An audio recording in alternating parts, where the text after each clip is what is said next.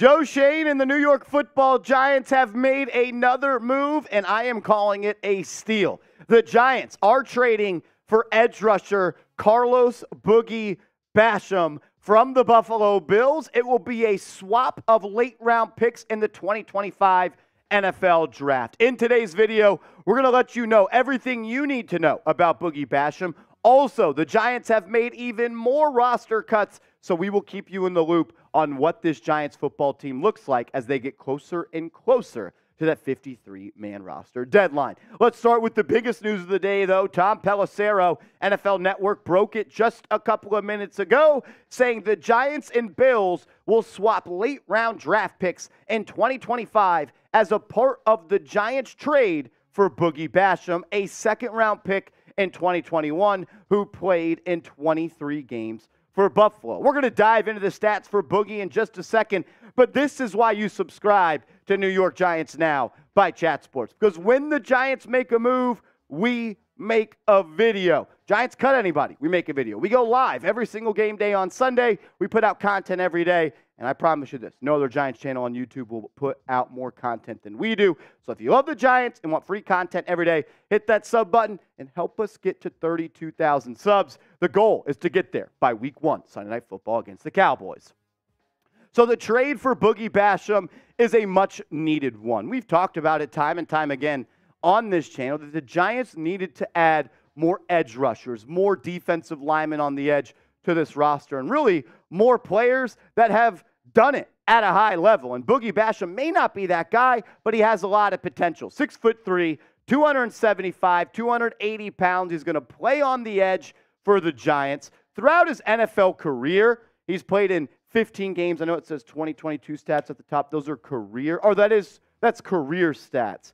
It's career stats, excuse me. He's played in 23 games in his career, 37 tackles, five tackles for loss, four and a half sacks and eight quarterback hits. Boogie Basham is someone that at the NFL Combine tested through the roof. He had a 9.3 RAS score, which is as high as you can get. Had a vertical jump of 34, weighed in at six foot three, 275 pounds. Ran a 4.640. He is someone that can come off the edge, put pressure on the quarterback. Struggled a little bit to stay healthy throughout his young career, but when you're just swapping late round picks for a player, uh, it's a good move for the Giants, and I am happy that it is. I know people are always worried about the salary cap for the Giants. Well, Joe Schoen finds a way to manipulate the cap while also adding a talented individual. Boogie Basham will only be counting against $1.09 million on the cap this year and $1.3 million in 2024.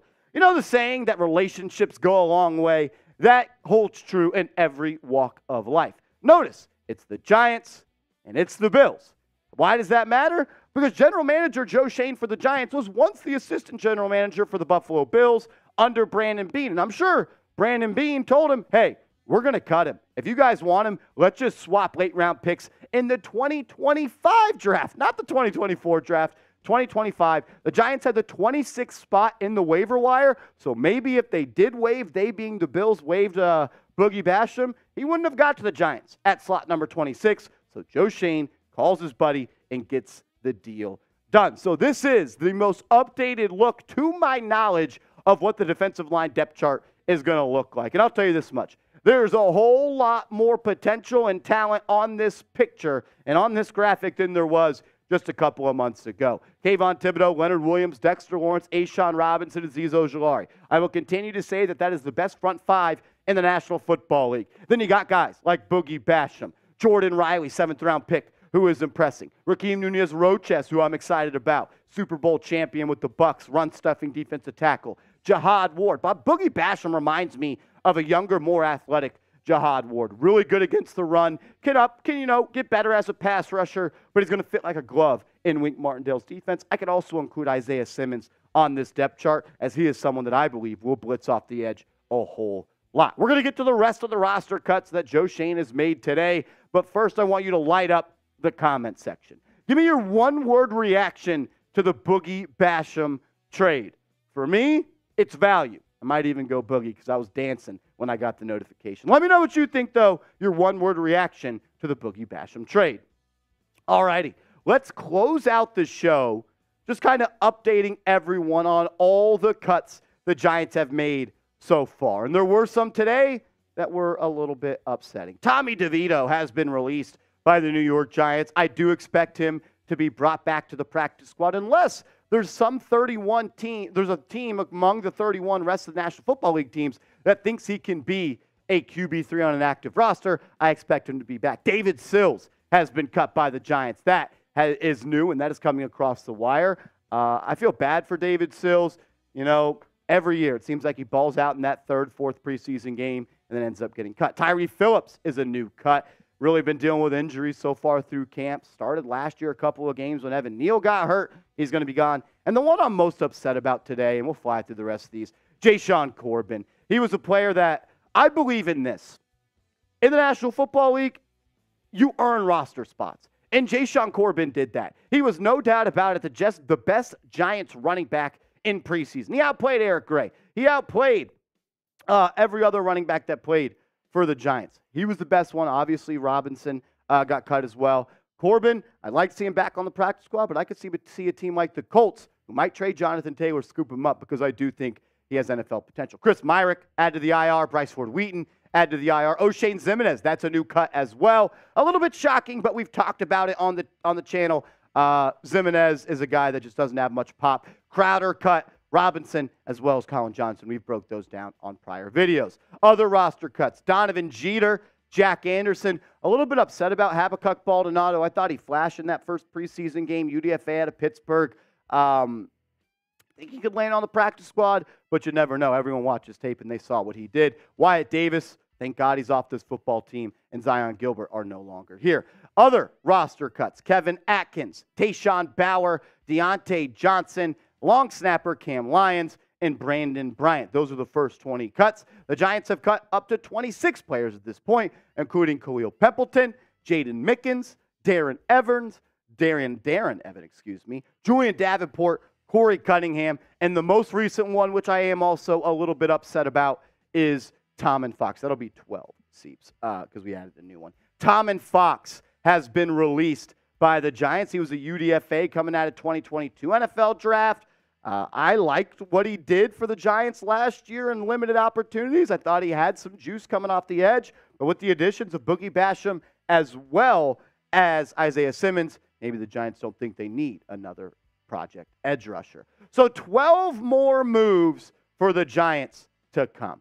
Following the uh, following the moves today, 12 more to come. I'm going to take a look at my Twitter timeline real quick to make sure no other moves have come across the wire. And then we'll just go through the rest of these depth charts to kind of give you a look at who's on the roster and who I think might get cut. These two guys are safe QB1, QB2, Daniel Jones, Tyrod Taylor. Then you look at the defensive line depth chart. All guys that are pictured are safe. If there's any seat that is hot, it's either Ryder Anderson or DJ Davidson. I think they might just keep one of those guys. Now you look at the offensive line depth chart. I think most of these guys are safe. Obviously, the ones that pictured are Thomas Bredeson, Michael Schmitz, Glowinski, and Neal, as well as Matt Peart and Marcus McKethan and Joshua Ezeudu. I think there's one more spot available for Sean Harlow and Shane Lemieux. One of those guys will make it. One of those guys will get cut, in my opinion.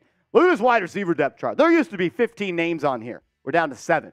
Hodgins, Shepard, Wan'Dale Robinson is going to be elevated off the pup. Darius Slayton, Parris Campbell, Jalin Hyatt, and Cole Beasley. I believe those are going to be the seven wide receivers that will be on this football team week one. Still moves to be made at the tight end spot. Darren Waller and Daniel Bellinger are going to make it. I think Lawrence Cager will be tight end three. Then the UDFA Jones, I think, will be gone. And Tommy Sweeney, not sure exactly what his spot is right now, considering the health scare that he had at practice just a couple of days ago. Hope all is well. Running back depth chart. They're going to roll with three Barkley, Breida, Eric Gray. I wish Jashaun Corbin was on this list. He has earned this spot, but life's not fair, and I learned that at a young age. Very, very sad. The safety spot. I think there's going to be a cut here as well. I think Cook is going to be gone, and I think Bobby McCain also might be gone.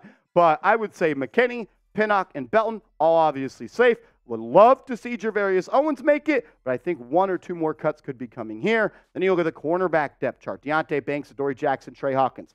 They are all safe. Cor'Dale Flott is going to make the team. Darnay Holmes, restructured his contract to make the team. I think Amani Oruwariye and Gemon Green uh, are still find themselves maybe on the bubble. We'll continue to update you if we get more news there. At the linebacker position, I think one more move is coming here. Okereke, McFadden, Simmons, and Beavers are all safe. Comes down to Carter Coughlin or Cam Brown. They could keep both of those guys, but I think one of them, unfortunately, will be getting the call to bring their playbook to Joe Schoen's office. As always, I just want to say thank you, and I appreciate everybody for tuning in to New York Giants Now. Make sure you are subscribed because I promise you, no other channel on YouTube is going to keep you this up to date on Giants news, and that's what we're all looking for. So subscribe, turn your notifications on, and if you haven't yet, hit that thumbs up icon.